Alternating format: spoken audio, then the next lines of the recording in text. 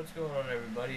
Frank Slawson here with, uh, well, I guess I could say, uh, finally a DVD update, which hasn't, I haven't done probably like two months, and I'm going to finally do it now. Background noise that you probably hear is the uh, fan uh, blowing, and it's kind of hot here, so I kind of gotta keep it on. So hopefully you'll be able to hear me, and if you can't, you just adjust your volume. Anyway, we're, as I mentioned when I did my uh, little 4th of July video, uh, this is to be a, a, big DVD update, but it's not to be that long. I just want to show you all the DVDs that I got. I'm not to review any right now because there's still, you know, I've been kind of busy and whatnot, so I haven't had a chance to really see everything. So I just want to kind of uh, break down kind of everything that I've got. Breakdown. Kurt Russell.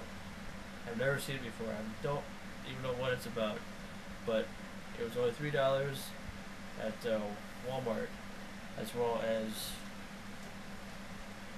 Hot Rod.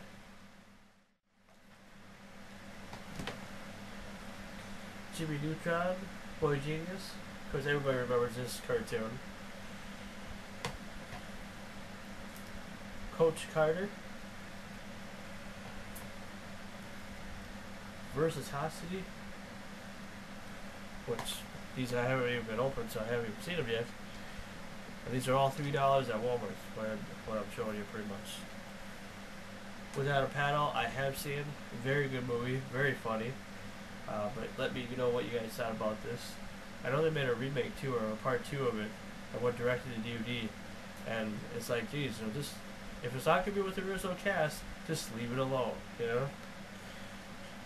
I have a problem sometimes like that when they when companies do that, and you know they'll release. You know, nowadays there's more movies released now than there ever was, and sometimes they'll do spin-offs and stuff, and you don't hear about it until the day that it comes out. It's like, oh, gee, thanks for telling us. Uh, anyway, uh, Footloose was three dollars. Now, I'm sure a lot of people have seen Footloose. I've heard the song by Kenny Loggins many, many times, but uh, this uh, is the special collector's edition of Footloose. So, there you go. I also got The Heartbreak Kid, it's not, it's not about the story of Shawn Michaels. but uh, although I seen a parody that he did on WWE Magazine uh, when the movie came out in theaters, uh, having Shawn Michaels on the poster with the, the chick out here, or with all the chicks, I guess. let's see, there's a few more here that were three couple more that were three dollars, I believe. Yeah. Rugrats, Tales from the Crib, The Snow White. I don't remember when this this came out in 2005, so yeah, I don't really remember. Uh, don't really think I've ever seen this one here yet. Yeah. Ah, Rugrats. okay. And then We're No Angels, which I have never seen, but I know my dad has uh, this on VHS. And finally, for the $3 DVDs, Summer School, the Life's a Beach uh, collection, or edition. And I have seen this before, not this version, but I've seen, well, it's pretty much the same thing. It wasn't a special feature. In the first DVD that came out, it's a very cool 80s movie. You can check it out when you get a chance. Now, so the other DVDs that I got Radio Flyer, which is a very good movie by the way, and Stephen King's It, which is kind of like a, a cross between Stand By Me, Stand By Me meets The Goonies, kind of sort of, or The Goonies meets Stand By Me, something like that. And finally, the last few that I got the complete second season of SpongeBob SquarePants. Just going right through all these here. Of course, everyone's seen Ace Ventura. This is the special edition that I just got today, actually. I got in the mail, $13 it costs. This is the, uh, had the original Ace Ventura stuff that, you know, the two the DVDs that came out.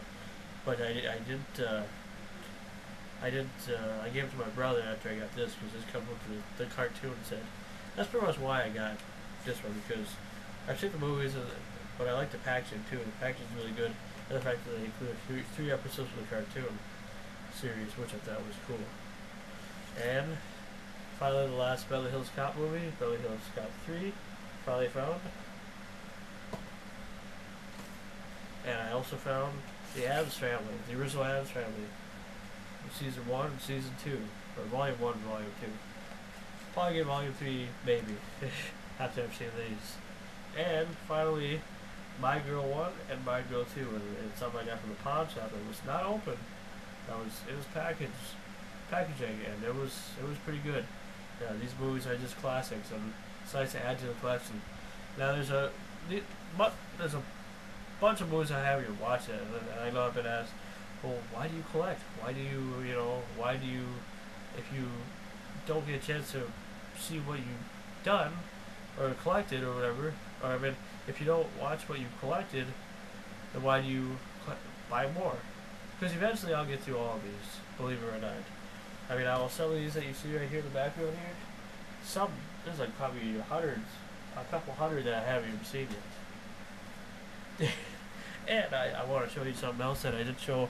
I didn't do a packaging opening video. Everybody that remembers the Ernest Talking Ernest doll that I got. Well, this is my. Bean bobblehead doll that I got the, the, day after. And there's a couple other things that I ordered from uh, eBay that will be on the way. And when they do, I'll do a couple of special.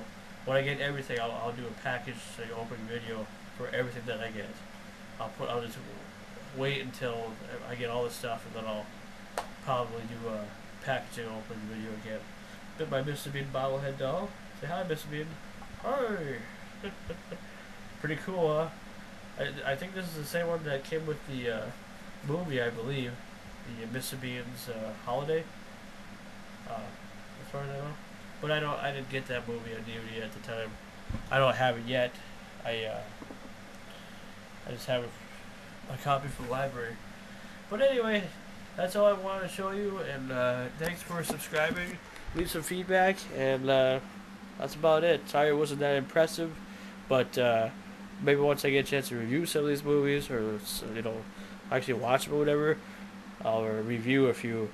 But uh, who knows? So until next time, I'm Franky Slawson. I'll see you later.